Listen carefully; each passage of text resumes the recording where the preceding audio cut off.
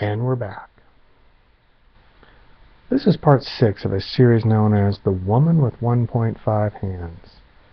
Originally, parts 4, 5, and 6 of this series were all contained in one chapter of a manuscript that I called Chapter 4, or A Different Approach.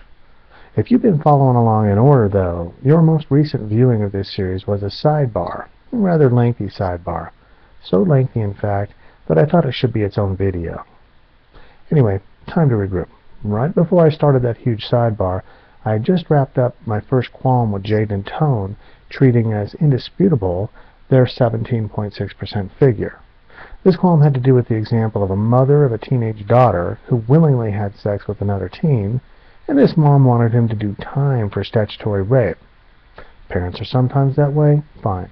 However, if these teens marry each other and have never been violent or forceful with each other, I'm not so sure I want the NVAWS report, or reports like it, to include this kind of sex in the same category as forcible rape. In other words, if there are enough statutory situations that aren't forcible rape, maybe 17.5% of American women have been raped is more correct than the 17.6% figure. Or as previously noted, since this is such a tiny exception to the bulk, maybe 17.58% of American women have been raped, is even closer to the actual figure. Any which way, yes, it's an exception, and it's often best to not base your entire battle plan on exceptions to the rule.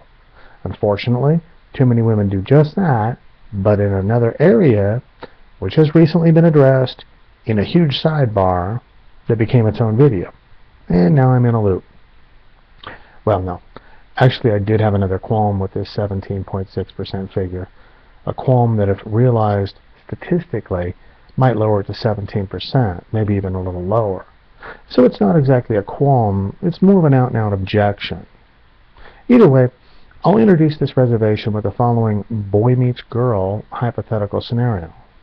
They meet, there's a progression from a date, consented to by both, to a kiss, again, consensual, to petting, and more. Meanwhile, various stages of undress are proposed, and the completed stages are all consented to by both parties, including both being completely topless at one point, and so on and so forth, everything mutually consented to to proceed. But then at one point she said stop, and within one second he stopped. He never ejaculated, he never penetrated her, he never tore her clothing, and he never did anything physical to her that she didn't do right back. For instance, one time she was on top, another time he was on top, whatever, back and forth, mutual. No coercion, no force, no threats, no violence happened either way by either party ever. So what we have here is a textbook case of something that wasn't rape, and it also was not attempted rape.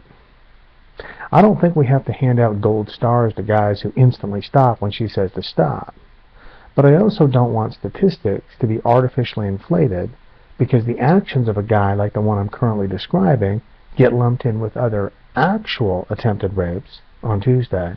And then on Wednesday, researchers like Jade and Tone come along and, following some more statistical wizardry, include in their reports that his actions were rape when clearly his actions have been recategorized from non-rape to attempted rape to rape. For example, here's verbatim a question asked of those surveyed in the NVAWS. Quote, has anyone, male or female, ever attempted to make you have vaginal, oral, or anal sex against your will, but intercourse or penetration did not occur? End quote. Clearly my boy meets girl scenario could easily include an attempt at something of a sexual nature, without violence or coercion or penetration or threats of same, that is within a second or two rejected, i.e. she said stop, and then he stopped real close to instantly. And then years later, she gets a phone call, and in part because she doesn't know her answer is going to be reclassified as rape, this respondent will answer yes to the above question. Note, I examined several more survey biasing techniques and interpretational quirks in my footnotes. Also, this is a great time to trumpet one of the many accomplishments of feminism. I call it the above a boy meets girl scenario because it's a literary device, and man meets woman just wouldn't cut it. Calling women at the office girls, however, they're women, but you call them girls. Used to happen in the 50s, with Mad Men, for instance. Calling women at the office girls, however, used to go hand in hand with not paying them as much, not paying them what they were worth to the company. Women can thank feminism for turning that stuff around. More on this later. Which brings up the issue of why I used the word reports a few minutes ago in the sentence. My point is, reports of attempted rape are so heinous and hurt so many so much, and not just, not just psychologically, but physically as well in many cases. By the way, this wasn't a few minutes ago, this was in number 4, part 4. I chose the word reports for that sentence because either a real attempted rape happened, like the one I described in video 4, um, the attempted rape where she had two broken arms. Anyway, I used the word reports for that sentence because either a real attempted rape happened and was heinous, or something else happened that was also heinous. The police spent tax dollars chasing down a false lead and arrested a man who neither raped nor even tried to rape anybody. We're talking hideous here. Hideousness.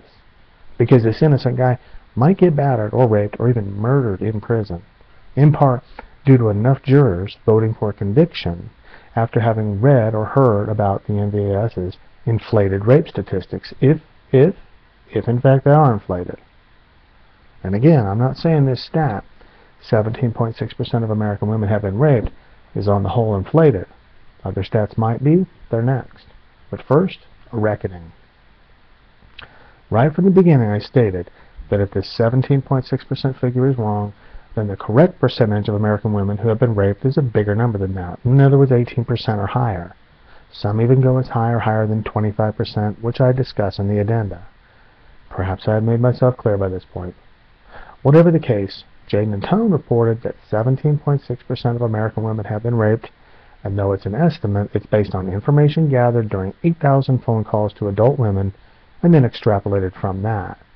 What they gathered and how they proposed to present it was pre-approved by the CDC and the NIJ, two national organizations not known for granting grants on whims. Their methodology? Sound. Rigor? Yep, they were rigorous. Point made. Second point. Here's how I arrived at 17.6%. First I looked at ways that figure might be underinflated, then ways it might be overinflated. They basically cancel each other out. To be clear, a base got established, say 14.8%, then increased with probably overlooked and and, and or somehow miscounted areas, resulting in a subtotal of, say, 80%, followed by subtracting some of the statutory situations that probably weren't rape and certainly weren't forcible rape, and allowing for or conceding that something less than 1% of all cases of alleged attempted rape would be more accurately described as a case of boy meets girl, as per my hypothetical scenario that you just heard. Here an observer might say, much ado about nothing, or wonder why I went to so much trouble to wind up with essentially the same figure they did. The best way to illustrate the necessity of the last few minutes of this video is to go over the exact words of Tjaden and Tone. Quote, 14.8% of the women they phoned said they were victims of a completed rape at some time in their life, whereas 2.8% of the women said they were victims of an attempted rape only. These findings are noteworthy for two reasons. They indicate that most rapists are successful in penetrating their victims. They also demonstrate how the definition of rape used in a research study affects who is counted as a victim and, consequently, victimization rates. End quote. Which I'll interject is like saying special people are special. Others may call that last sentence of theirs an example of reflexive logic or circular reasoning. Pretty interesting is what I call it. Interesting that they use the word affects instead of contorts or distorts or inflates. As if that weren't revealing enough, their very next sentence is, quote, Research will find higher rape victimization rates if studies include attempts in their definition of rape, illustrating the maxim that the broader the definition used to measure victimization, the higher the victimization rate. End quote. Question, how broad do we want to broaden these definitions? And by we, I mean we voters and or taxpayers and or parents who don't want our daughters raped. Will these definitions be broad enough, for example, that when a man reenacts the exact behavior he witnessed dozens of other men performing at Arrowhead, namely scooching past a fellow customer, but because he's not wearing an Armani suit, and instead he's wearing greasy sweatpants that are torn in the knees, and because this scooching happens inside a Target or a Walmart or at the DMV, he then gets charged with attempted rape? Will that be broad enough? Those of us who care about our daughters want those who truly rape locked away over something more permanent. And we want those who truly attempt to rape locked away too, or more. But how do we know when those who are driven to acquire more and more rape awareness grants have broadened their definitions enough? Quote, zero rapes reported on campus during fall term, end quote. That was a headline printed in my university's newspaper one winter in the mid-80s. But, the article went on to say, rape was still on the rise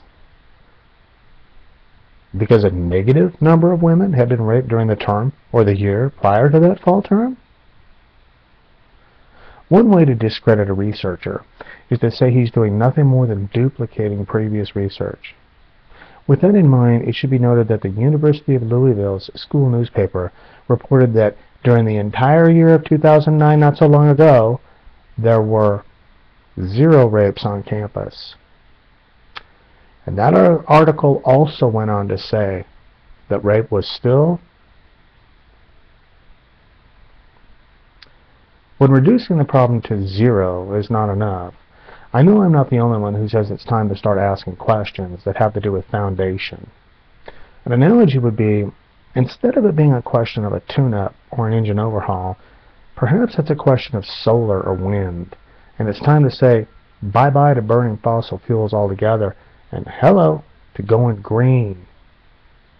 The thing is, though, it doesn't really help to ask those suspected of having an agenda if they have one. Here's what those of us who care about our daughters, mothers, grandmothers, wives, girlfriends, sisters, aunts, nieces, and female cousins want to avoid. We want to avoid the distortion of rape statistics because it leads to distorted viewpoints of this very serious crime. If rape statisticians get the reputation of often, constantly aggrandizing their statistics for the sole purpose of getting more funding, then voters may vote down certain much-needed measures. Voters, disillusioned, just might vote down, for instance, the construction of another rape shelter. And according to exit polls, those who say they voted against it will say they did so just on principle because voters will feel more and more like those who propagate this industry's ideas are simply lying. Pure research is needed, and if that's too hard to come by, then purer er research is needed. More balanced, less biased. Perhaps those executing the bulk of the research in this area are too established, too entrenched, their vested interest so intractable, and their agendas so ingrained and deep-seated that they start every experiment with nothing but preconceived notions that every hypothesis and theory is worked out ahead of time, long before that first number is dialed, before that first Bunsen burner is lighted, before that first test tube is filled with a pungent substance, and before they sharpen that first number two pencil. Is impartiality, or anything even approaching being impartial, now so extremely unlikely in this field that it's impossible to attain? On to example number two of why purer research is needed. To get us there, I'm going to take another swipe at something I mentioned in uh, video number four, followed by a retraction of sorts. And here, let me restate what I said. Quote, here's why. If a judicial or legislative brief containing either this manipulation or interpretation of the stats were being considered for admittance as evidence in court, I'd opt for the letter of the law, so to speak. In other words, 14.8% does, does not equal 17.6%, especially putting a possibly innocent person behind bars were in the offing. But since all Tjaden and Tone did was conduct a phone survey intended to increase public awareness of rape, then I'm all for the spirit of the law in this case. End of quote. That's a great place to start if that 14.8% figure is a solid or sound number. But how do we know it's a good-to-go number and or if it's accurate enough to be considered a legitimate component of other numbers? Moreover, after further consideration, I think that certain rape-oriented statistics are being considered for our own court, the court of public opinion, most of us settling somewhere near the middle or average, an average that clearly tilts one way because it's been dictated to us almost exclusively by those who need what they fix to stay broken enough so that it justifies their need for more and more funding so that they can continue fixing. Bottom line, none of us actually are jurors at one time or another. That said, I'm changing the above so that it reads that attempted rape is not rape. Critics of this development are probably limited to those who think certain words or terms on the following list are interchangeable, while other words aren't. List begins completed rape, tickle, and attempted rape. List over. What I'm saying here is that someone who conflates tickling with an attempted rape, and he knows it was an attempted rape, man, you got a sicko on your hands. Someone who needs to be doing time if he's the one who attempted to rape. But by that same token, I don't think completed rape and attempted rape are always exactly the same thing. The damage from an attempted rape can be catastrophic, but included in the damage from a completed rape, as it differs from a non-completed rape, is a much greater chance of dying during childbirth nine months after the attack. Not that I'm looking in any way, shape, or form for anything that even remotely resembles a silver lining. I'm merely trying to show different ways that attempts and completions are different enough, often enough, that those employed in the social sciences should not willy-nilly toss them around as if they were synonyms. I attempted to give you $10 billion. Don't you feel richer? I addressed this change thoroughly in my footnotes. Even more so, though, is this idea that awareness is needed now more than ever, and that it's good to fluff up certain statistics so that more become more aware what, half or three quarters of the women in Walmart clutching their keys like it's their my precious isn't proof enough that enough are already supremely aware? The proof is out there, it's unimpeachable, and it can't be ignored. A preponderance of American women have already heard and tasted, if not slurped and guzzled, the Kool-Aid of the message promulgated by those established in the field of rape awareness. The problem, though, is that their message is a distortion of what rape is what causes it, how to prevent it, and more. And if a distortion is not taking place, somewhere, somewhere between the promulgation of their ideas and the actualization of typical rape defense strategies, how is it possible that at Arrowhead, not one woman within my line of sight held her keys? I discreetly looked at hundreds of female hands inside that stadium. I listened as I always do for the shaking of keys to let me know my place. It's just about impossible to miss the distinctive sound of nearby jangling keys. I once shook my keys at arm's length amid the plangent clangor of a racing fire engine in full bloom, holding my keys as far away from my ears as possible and standing as close to that huge diesel pumper as I dared, which was the curb. Actually, I, I took one step off of the curb, and that truck missed me by no more than seven feet. And yep, I could still hear the high-pitched clanking noise of my own keys under or around or through the piercing yet deeper pitched sound waves of that fire engine. What I'm trying to say is that if anybody had his or her keys out and clinking within a hundred or certainly within 50 feet of me at Arrowhead, I would have zeroed in on it and, after gaining confirmation, i.e. seeing keys in hand, I would have said to my wife something like, There's one! I knew there had to be at least one of them here. But nope. Evidently no women at that game near me had heard about using keys to defend against rape. Yeah, or they'd heard, but what they'd heard was a completely one-sided version of rape defense. A version so distorted that adherents get raped more often per capita than those who are either unfamiliar with it or choose to employ other methods to avoid being raped. Here's another analogy. Even though spectators, bailiffs, court stenographers, and the like would like to think of themselves as influential, there are probably only three or four camps inside a courtroom that can determine justice or the outcomes of trials. Judges, lawyers for the defense, lawyers for the prosecution, and the optional participants, juries. Judges and juries weigh the evidence both pro and con, for and against, etc. Example number two of why pure research is needed has to do with, in an analogous way, the behaviors of prosecutors and defense attorneys. It's as if what we've heard about rape from those entrenched in the upper reaches of the anti-rape industrial complex, or TARICO, are words we would hear in court from a prosecutor or from a defense attorney. One or the other, for this analogy it doesn't matter which, but it's only one or the other. My point is, what we're hearing from high-ranking members of TARICO and what we're reading in their findings comes to us from one side of the courtroom only. They're not weighing both sides of the issue. They're not weighing both sides of the issue. They're only dealing with the rapes of women. Wrong. Tjaden and Tone also called 8,000 men and asked if and how they were victims of rape. Not how they perpetrated, but how they were victimized. In other words, it wasn't a disguised witch hunt. Rather, they were trying to be fair.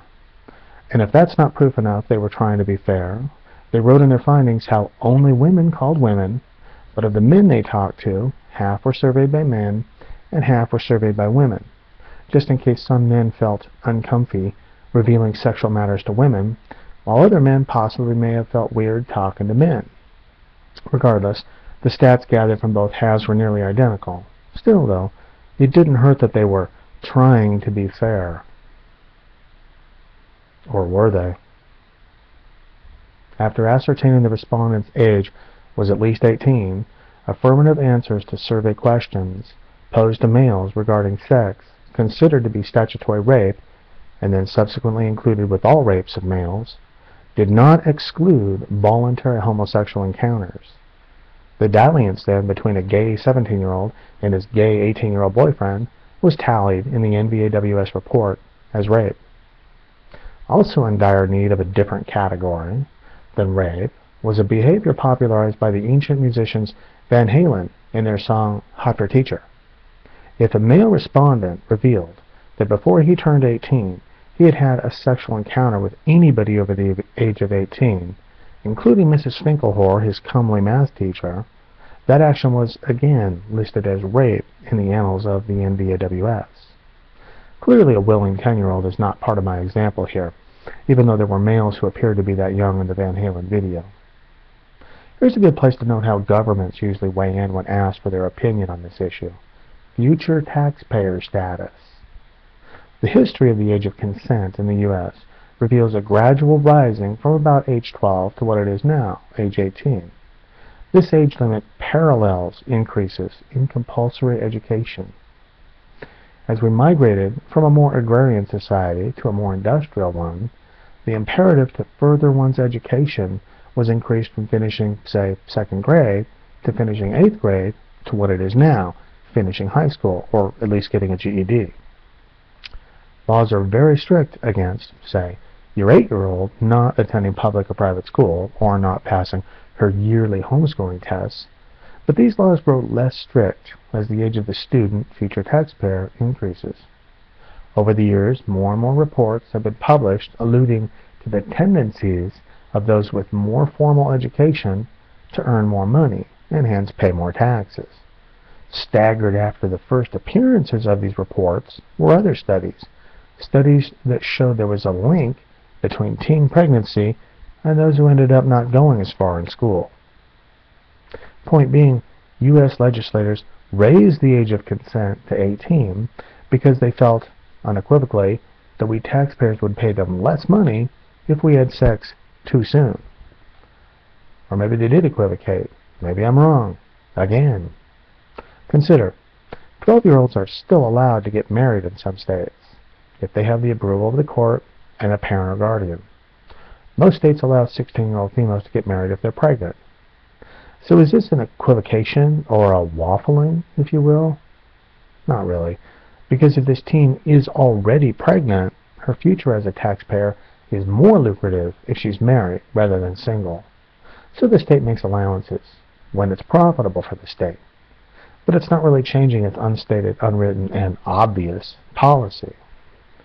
But the thing is, if an underage male does what it takes to get someone pregnant, or willingly, perhaps even enthusiastically, has it done to him, since he personally can't become pregnant, his chances of being a healthy taxpayer someday are not diminished.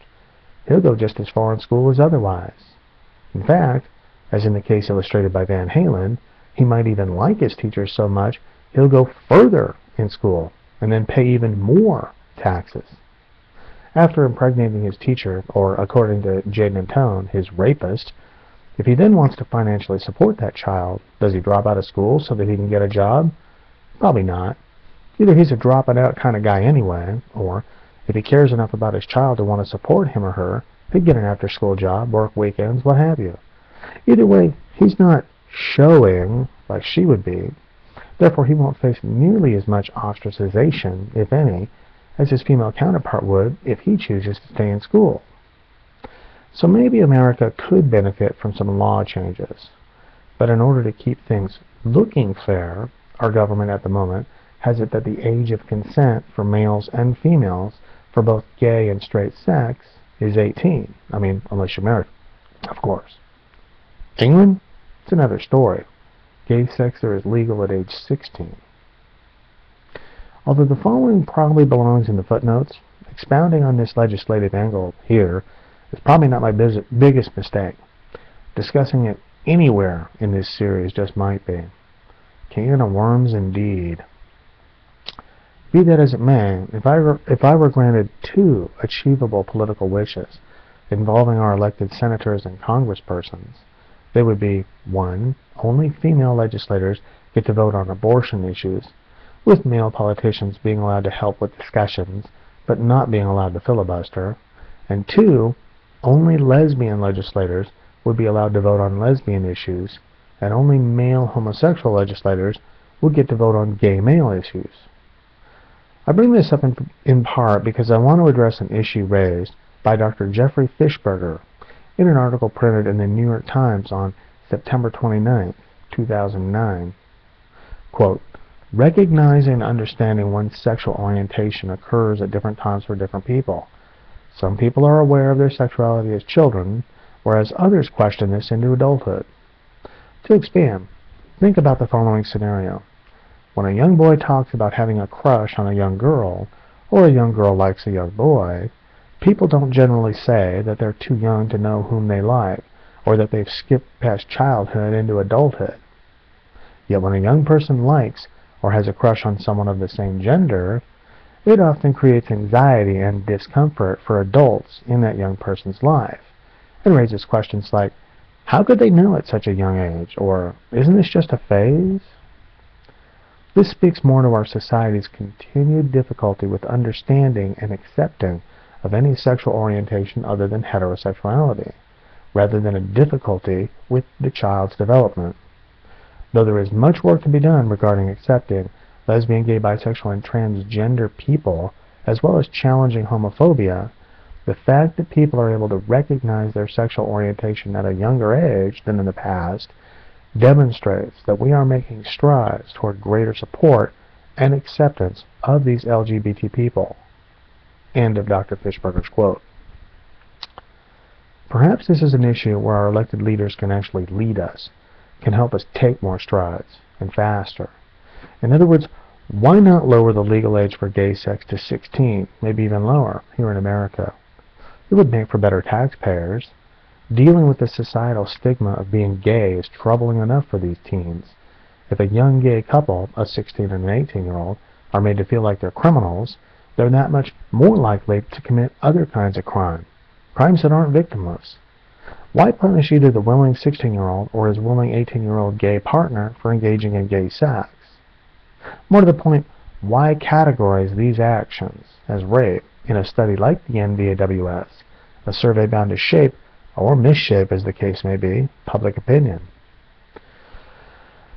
What I'm trying to say is that though they mention, quote, more than 70% of the male victims said they were raped before their 18th birthday, end quote, Tjaden and Tone failed to mention how many of those 70% were actually cases of voluntary experimentation and not forcible rape, i.e. they were willing minors learning about gay sex from those over the age of 18. Explored more thoroughly in my footnotes is the notion that since most gays aren't going to learn about particulars and functions relevant to gay sex from their schools or their older straight siblings or their parents, where else but from the streets can they learn? A 12-year-old fumbling around with another 12-year-old won't accomplish all that much. It just makes sense that at some point, say by age 14, gays would start looking for instructions from those with some experience, from those who are older. Gathered from other sources and listed in my notes is support for this notion.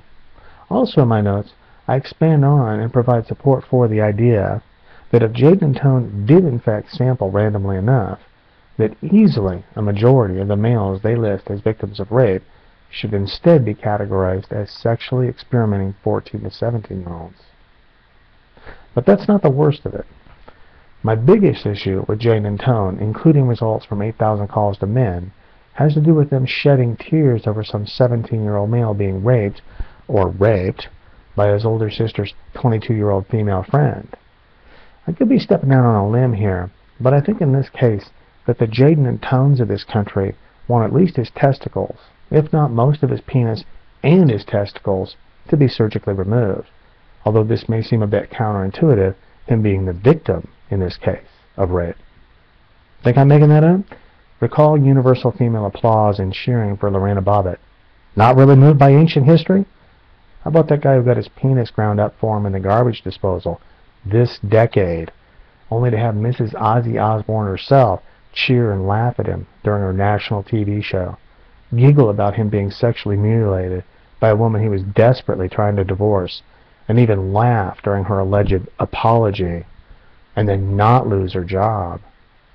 Which is to say, Though I don't think they care much about the physical or psychological well-being of some 17-year-old male rape victim raped by his sister's 22-year-old female friend, Tjaden and Tone use his victimhood so they can get more funding, funding that when it does go to a good cause, the construction and maintenance of public rape shelters, for instance, doesn't allow, legally, for tax-paying male victims of rape to acquire safety thereat. And we can thank Amnesty International for uncovering this legal loophole in 2005. And besides, isn't it an insult to a battered, brutalized female victim of rape to have her attack lumped in with some 16-year-old guy getting his rocks off with an 18 or a 20-year-old? I mean, they couldn't even get five adult males to say they'd been raped in the previous 12 months. And this out of 8,000 male respondents to a survey whose researchers tried numerous ways to bolster their numbers. How rare is it for American males who aren't in prison to be raped? I'm sure to a victim it's awful, but the numbers just aren't there to tandem it up in a serious discussion of women who get raped. That number five is even suspect. Statistical rules within the social sciences are such that if your percentages fall below the equivalent of 5 out of 8,000, which evidently it did fall below 5 in and Tone's report, then because of its inherent instability, you can't compare it to other stats in a meaningful way. That, that number could have been 0 or 1, and it's definitely 4 or fewer. But to those who read or heard about the report, it's been blown up to 5. Again, evidence of statistical exaggeration. Here's a hunch. The only reason Tjaden and Tone included calls to men was that their first grant proposal was rejected and they were told if they included male victims in their survey that they'd get their funding. Eh, I could be wrong. Again, just a hunch. So they were trying to make it seem like they were being fair. But what were they actually seeking? It's not like they were hiding anything. After all, the name of their survey was the National Violence Against Women Survey, not the National Violence Against People Survey. Self-interest is nothing to be ashamed of, though, and ordinarily, I would add no harm, no foul. But I pay federal taxes, some of which fund the CDC. Next time, let's be honest about what we're doing, Patricia Tjaden and Nancy Tone, and let's have other people, people who aren't making disingenuous phone calls, phone them in. Which is to say, half of your funding could have gone to a better cause. In sum, if the anti-rape industrial complex, while busying itself with only the rapes of women, is not weighing both sides of the issue, and weighing both sides doesn't have anything to do with men being raped or the prevention of men being raped, then what would representatives of TARICO be doing if they quit doing business as usual and started considering both sides of this issue? That answer is forthcoming, and it's spread throughout the remainder of the series. Suffice to say for now that if members of TARICO, that is, the anti-rape industrial complex, if these members started considering both sides of this issue, what they would be doing has nothing at all to do with blaming the victim. In other words, if a woman gets raped by a man, that man is 100% responsible for that rape, and that woman is 0% responsible for her own rape. I am not at all about placing blame anywhere it doesn't belong. This series of videos is about lowering the number of women who actually get raped. Soon, I'll start exploring alternative ways to avoid rape, ways that those in TARICO remain quiet about or haven't heard of.